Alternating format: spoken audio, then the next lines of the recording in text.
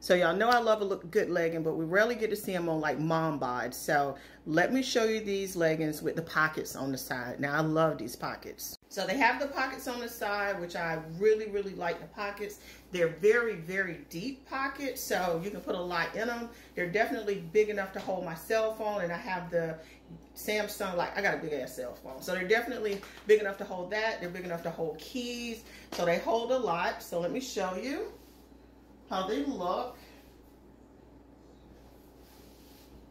Really, really comfortable.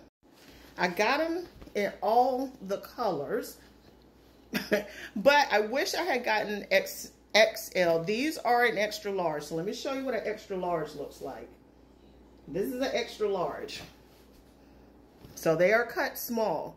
So you're, you're gonna need to at least size up but they are super stretchy. They are not see-through. So they're a really, really good material. They're super stretchy. They have the pockets on the side. If I had sized up and got an XL, I mean an XXL, and I'm somewhere between probably a 16 to an 18, somewhere up in there, um, I have been buying XLs just fine. This is the first XL that I've bought that is not, is like too tight.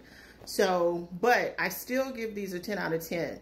The pockets, amazing. The only thing is, if you're going to get them, size up.